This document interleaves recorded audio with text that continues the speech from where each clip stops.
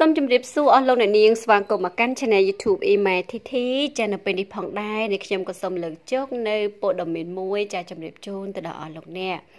ដែលដាក់ចំណងជើងថាក្មេងប្រុសកំសត់ម្នាក់ទៀតហើយ ដែលស្រមៃចង់ខ្លាយជាតារាកំ pl ែងល្បី បានសម្ដែងនៅលើឆាកមួយរយៈពេលចុងក្រោយនេះយើងតែងតែសង្កេតឃើញចានៅក្នុងបណ្ដាញសង្គម Facebook មានក្មេងៗកំសត់ចាស់ជាច្រើន ចាដែលបានធ្វើឲ្យចាគ្រប់គ្នា មានការក្តុកក្តួលក៏ដូចជារំជួលចិត្តអាណិតចាស់ជាពុនពេកហើយក៏មានអ្នកឧបត្ថម្ភជួយជ្រោមជ្រែងជាបន្តបន្ទាប់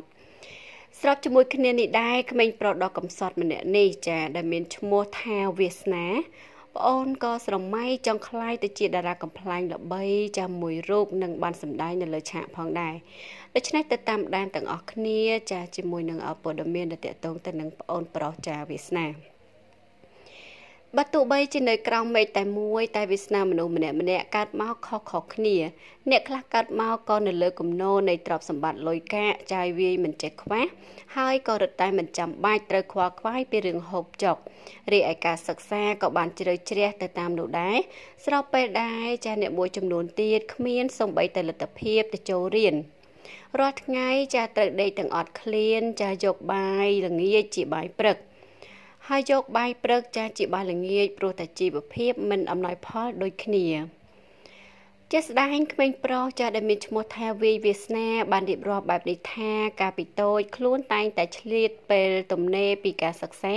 ទៅជួយបេះឈូកជាមួយម្ដាយនិងលក់ខ្យងដើម្បីសន្សំលុយយកទៅរៀន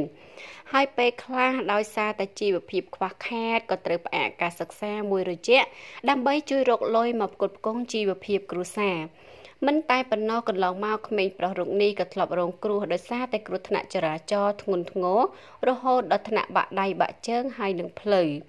បើគិតមកទល់ពេលនេះអ្វីត្បិតតែទទួលបានការព្យាបាលជាសះស្បើយទៅហើយក៏ពិតមែនតែពេលខ្លះក៏នៅតែឈឺចាប់នឹងលឺចា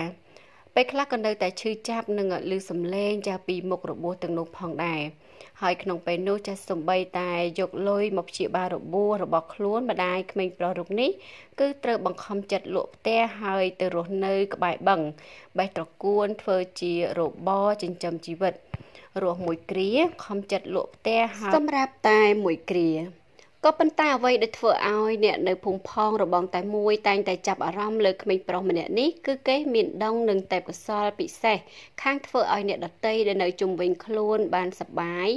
និងរីករាយជាមួយនឹងការបង្កបរិយាកាសនិយាយកំ pl ែងកំ pl ែងធ្វើឲ្យគេបានសើចសប្បាយស្ទើរតែគ្រប់ពេល ជាមួយគ្នានេះដែរវាសនាក៏បានបញ្ជាក់ឲ្យដឹងដែរថាបំណងប្រាថ្នាដ៏ធំបំផុតរបស់ខ្លួនហើយចង់ឲ្យចាคล้ายទៅជាការពិតនោះគឺចង់คล้ายទៅជាតារាកំ pl ែង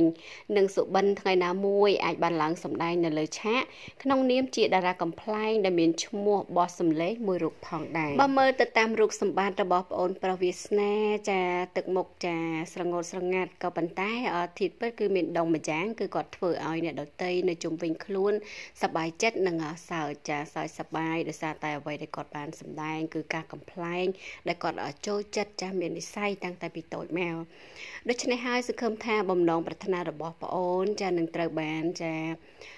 មានអ្នកចាដែលគាត់មានចិត្តសប្បុរសក៏ដូចជាតារាសិល្បៈរបស់ជើងចាដែលគាត់មើលឃើញហើយអាចនឹងជួយជ្រោមជ្រែងបណ្ដោះបណ្ដាយកប្អូនទៅចាវឹកហាត់ចាដើម្បីឲ្យឡើងទៅលើឆាកសម្ដែងបាន គឺជារឿងល្អមែនទែនចា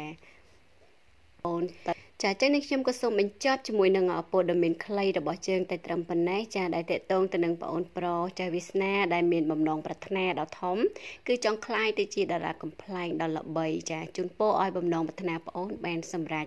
ចាអញ្ចឹងអរគុណចំពោះការតាមដានទស្សនារបស់អស់លោកអ្នកកុំភ្លេចចុច Subscribe និងរូបកណ្ដឹងដើម្បីទទួលបាននូវវីដេអូថ្មីៗពី Channel នេះខ្ញុំជាបន្តទៀតនៅគណៈពេលនេះចាក៏សូមអរគុណសូមជម្រាបលា